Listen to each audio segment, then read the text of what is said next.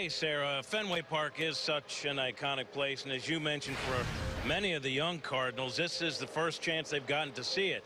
A number of Cardinals took the opportunity, and it's become a bit of a tradition to go inside the Green Monster and sign the walls. Jose Martinez was one of them, and he let us tag along.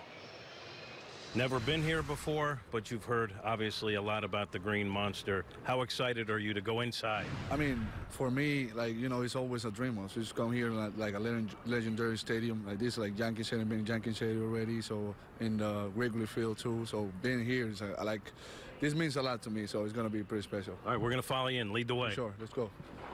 All right, first off, here's your Sharpie. Secondly, take a look around, drink in the history. What do you think? Wow.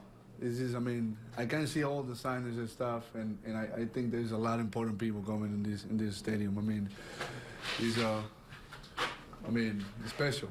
This is special. All right, you got to find a good place now. I mean, yeah, I gotta find something that as soon as the people come here, you just they're gonna see it because this is this is another sign right here. Really, It's so old, so old that you like actually like a little can't see it right here.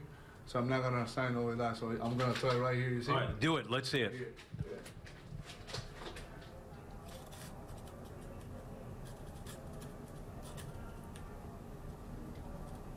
Now go over it to make it darker, I think. don't No, no, right there, good? right there. Yeah, it's good. I'm gonna override it because I'm gonna make it worse. So that's fine right there. All right. We did it. We did it. Enjoy.